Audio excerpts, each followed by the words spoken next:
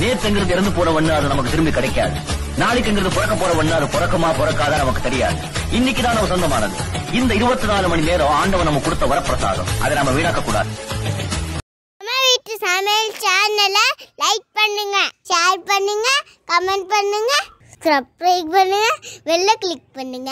Hi viewers உங்களுக்கு நான் இன்னைக்கு செஞ்சு காமிக்க போகிறது ரொம்பவே ஹெல்த்தியான டேஸ்டியான கத்திக்காய் கூட்டு தான் இது நம்ம சுட சுட சாதத்தோட மிக்ஸ் பண்ணி சாப்பிட்டோன்னா அவ்வளோ அருமையாக இருக்கும்.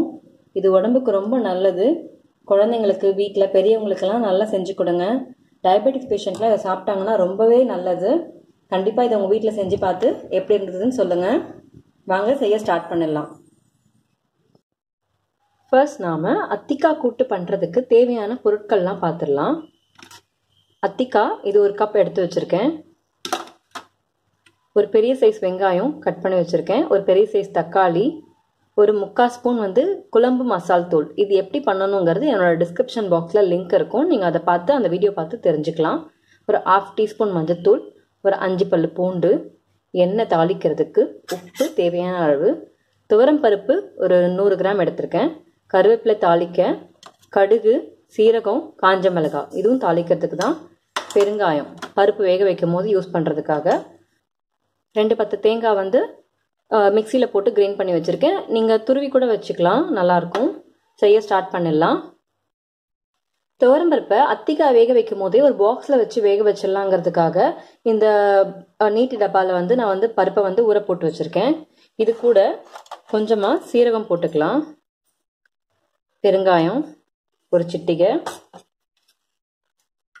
ஒரு அஞ்சு பல் பூண்டு போட்டுக்கோங்க. மஞ்சத்தூள் ஒரு கால் டீஸ்பூன். இதை நம்ம மூடி போட்டு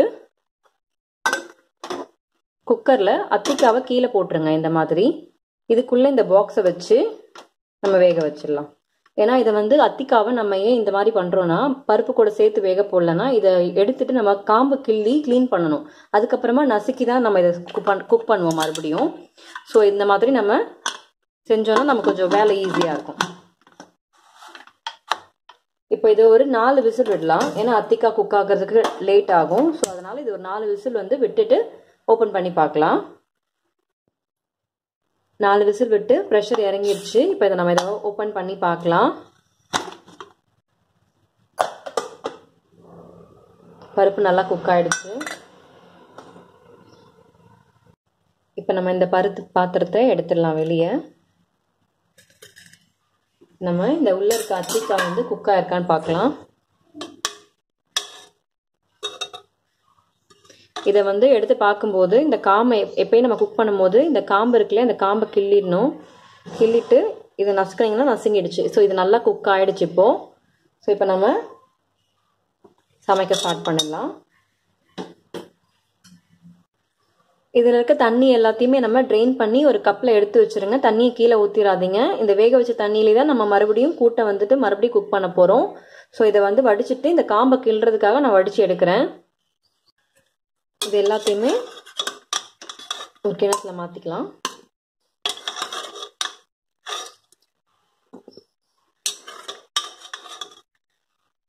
கத்திக்காய் ரொம்ப உடம்புக்கு ரொம்ப நல்லது. ஸோ இந்த மாதிரி எல்லாத்தையும் ஒரு கிண்ணத்துக்கு வந்து மாற்றிட்டேன் இப்போ நம்ம இந்த காம்பை இப்படி கிள்ளிடலாம். கிள்ளிட்டு இதை நசுக்குனிங்கன்னா இந்த மாதிரி நசுங்கிடும். இதை நல்லா நசுக்கிட்டு ஒரு வேற ஒரு பாத்திரத்தில் மாற்றி வைங்க. இந்த மாதிரி எல்லாத்தையும் நம்ம நசுக்கணும். உங்களுக்கு நான் நசுக்கிட்டு மொத்தமாக காமிக்கிறேன். பாருங்கள் இது எல்லா அத்திக்காவையும் நான் நசுக்கிட்டேன். இந்த மாதிரி நம்ம இப்போ மறுபடியும் கூட்டு செய்ய ஆரம்பிச்சிடலாம். சரி இந்த பருப்பு வேக வச்ச பருப்பு இருக்கு இல்லையா? இதை நம்ம இதில் இந்த தண்ணி அத்திக்காய் வேக வச்ச தண்ணியில் ஆட் பண்ணிவிடுங்க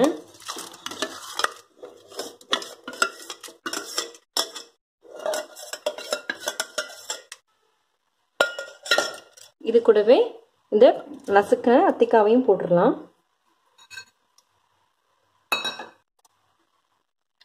ஒரு வெங்காயம் ஒரு பச்சை மிளகாய் ஒரு பெரிய சைஸ் தக்காளி அரை ஸ்பூன் குழம்பு மசால் தூள்.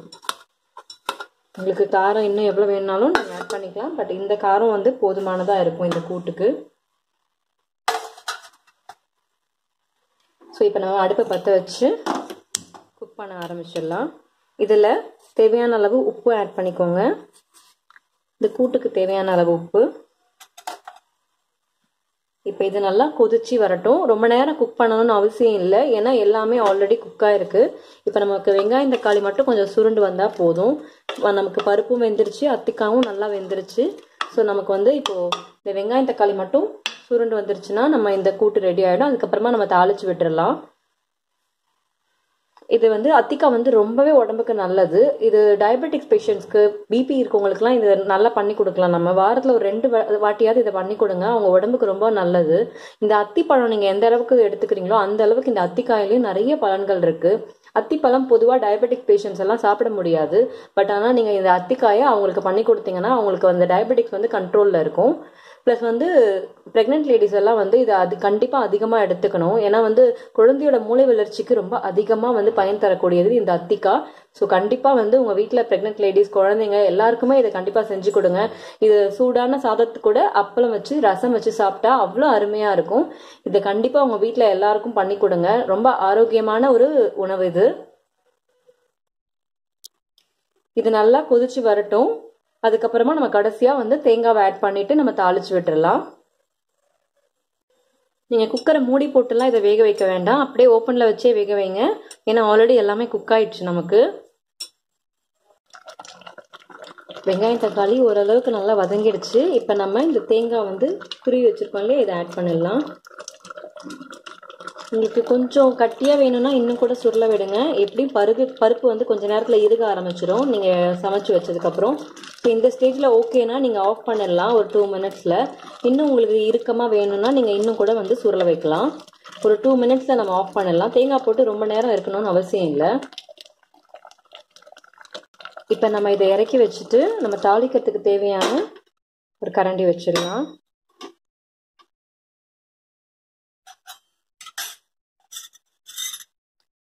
கரண்டி வந்து சிம்மில் வச்சிடலாம். இல்லைன்னா ரொம்ப வேகமாக வந்து கருகிடும். தாளிக்கிறதுக்கு தேவையான அளவுக்கு எண்ணெய் ஊற்றிக்கலாம்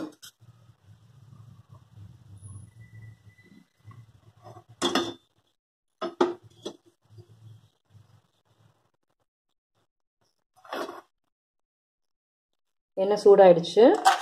இப்போ நம்ம இந்த கடுகு பருப்பு சீரகமும் இதில் ஆட் பண்ணிடலாம்.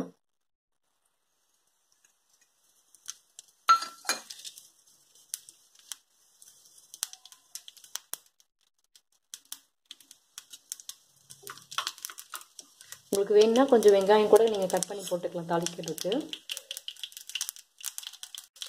ஒரு சிலர் வடகம் போட்டு தாளிப்பா தாளிப்பாங்க. நீங்கள் அந்த மாதிரி வடகம் போட்டு கூட தாளிச்சா நல்லாயிருக்கும். கொஞ்சம் காஞ்ச மிளகாய் ரெண்டு மூணு காஞ்ச மிளகாய் போட்டேன். ஒரு கொத்து கருவேப்பிலை.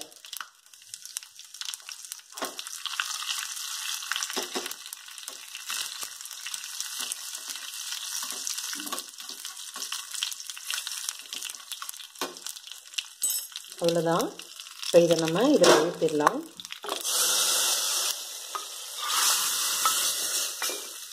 கத்திக்காய் கூட்டு ரெடி ஆகிடுச்சு நீங்களும் இதை உங்கள் வீட்டில் செஞ்சு பார்த்து எப்படி இருக்குன்னு எனக்கு கமெண்ட் செக்ஷனில் சொல்லுங்கள் தேங்க்யூ